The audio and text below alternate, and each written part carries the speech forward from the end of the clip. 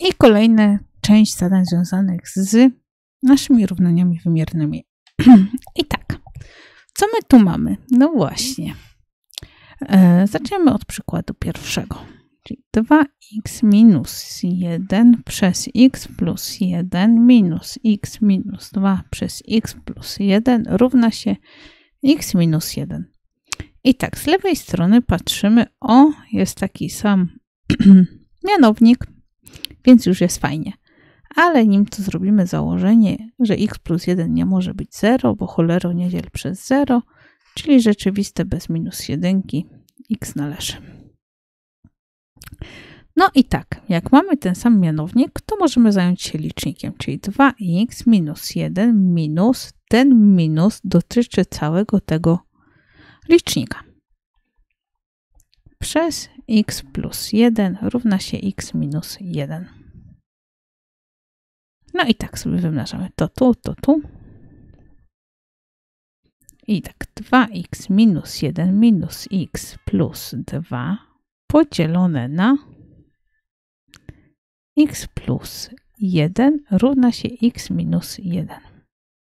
To i to mamy x plus 1 przez x plus 1 równa się x minus 1.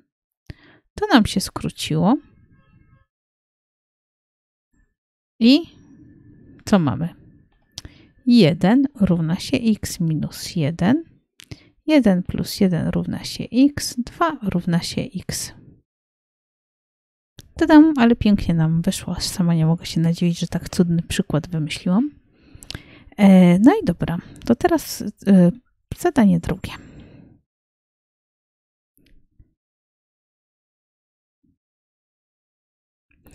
I mamy co? Minus 2x, x minus 2 plus 2x plus 1 przez 2 minus x równa się 3x minus 6. I teraz tak. Założenie. Czyli x minus 2 nie może być zerem i 2 minus x też nie może być zerem, ale zaraz zobaczysz, jak śmiesznie wyjdzie. x nie może być 2 i 2 nie może być x, czyli wyszło nam to samo. A co to znaczy? To znaczy, że z tego możemy łatwo zrobić ten mianownik. Albo musi sprowadzać do wspólnego mianownika. A jeszcze liczby rzeczywiste bez dwójki. No i dobra do roboty. Minus 2x, x minus 2 plus. Tu na dole wyciągam minus przed nawias. Minus 1 dokładnie. Minus 1 razy minus 2 plus x, a na górze mam 2x plus 1 równa się 3x minus 6. I teraz tak, ten minus wciągam tutaj na górę. Minus 2x, x minus 2 plus minus 2x minus 1 albo mogę jeszcze lepiej zrobić, poczekaj, poczekaj, bo naklikałam, tak, naklikałam. Tą minus jedynkę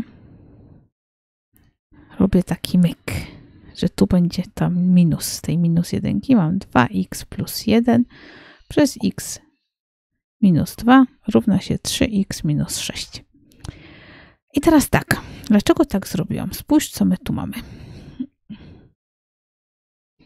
Mm, mam tak, na przykład 5 przez minus 1 razy 2.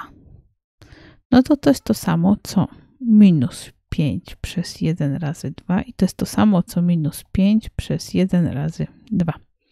Widzisz? Tu jest minus, tu jest minus i tu jest minus.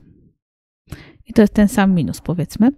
Dlaczego tak się dzieje? Bo wszędzie mamy mnożenie. Czyli jak tu mam mnożenie i to traktuję jako naszą piątkę, to mogę napisać, że to jest minus 2x plus 1 przez ten dół cały, albo mogę zrobić tak, że ten minus, tak jak tu zrobiłam, wyciągam przed nas cały ułamek,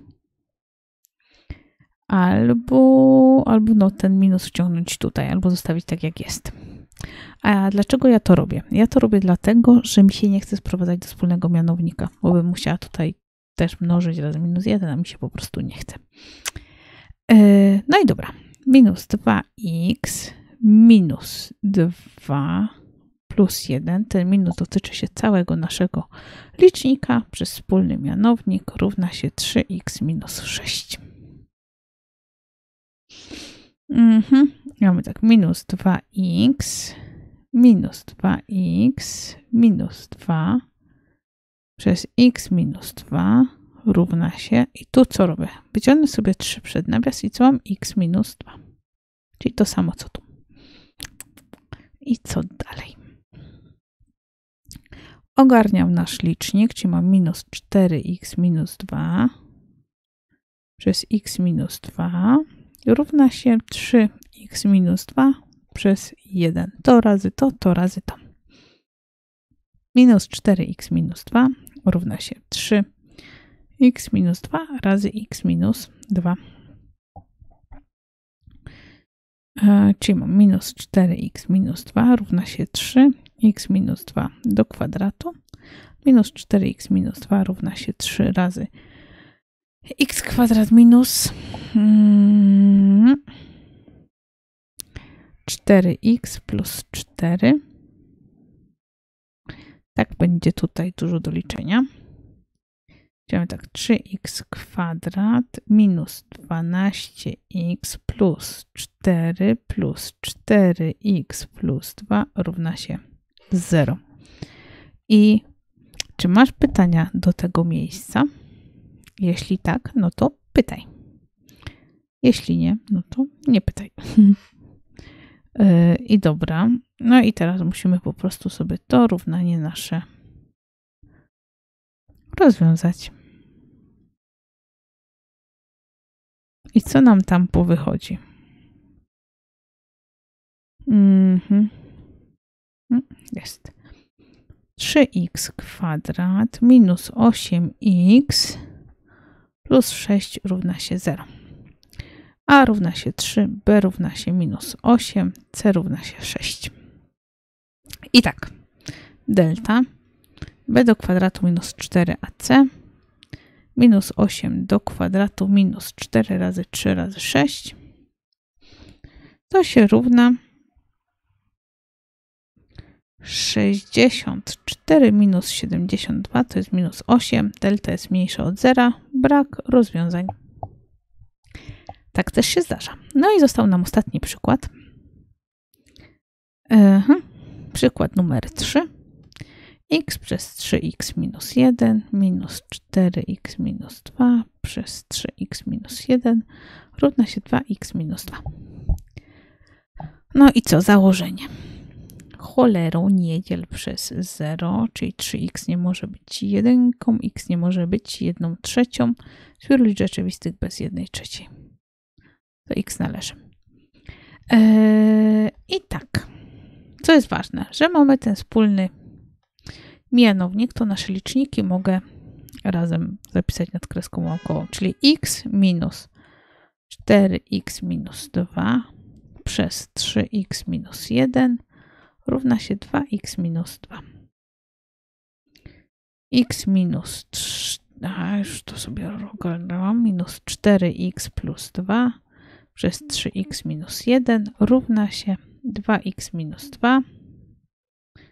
E, pozwól, że tutaj na górze będę pisała minus 3x plus 2 przez 3x minus 1 równa się 2x minus 2 przez 1. To razy to, to razy to minus 3x plus 2 równa się 3x minus 1 razy 2x minus 2.